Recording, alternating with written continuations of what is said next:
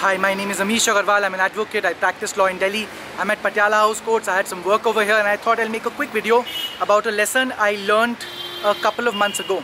In the month of January 2020, I was appearing for the complainant in a matter. The case was of cheating. The person was in custody, the accused person. The complainant, my client, came as a witness, as a prosecution witness to depose about the case.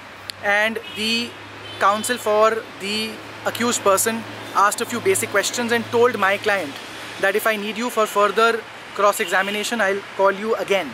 And when the client told me this, I was astounded because I was not there personally, I had to go somewhere else. But when the client told me this, I was astounded because, you know, to my mind, if you as a defense counsel are taking such liberties with the you know with the case with the client especially when the client is in custody it is nothing short of absurdity in fact with another client of mine which is quite well known a case of uh, Saravjeet Singh, the same thing happened. The, the witness flew down from abroad, gave her testimony.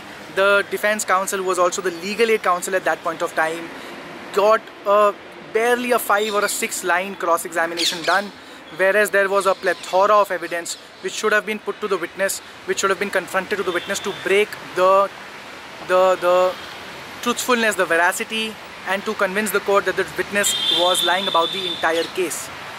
Now of course the Criminal Procedure Code section 311 provides for recalling of the witness but there are several judgments of the Supreme Court which say that this power of the trial court should be exercised with a lot of caution and usually this prayer should not be granted. So if you're there, if you're a defense counsel, if you're a client and your lawyer does not prepare the cross-examination well, you cannot hope to wait for another day or you can't take that kind of lax approach where you feel that you can go on another date and you can perhaps recall that witness again. The one shot that the witness comes and gives you, submits himself or herself for cross-examination, you have to make the most of it. If you don't, your client suffers. If you're the client, you suffer.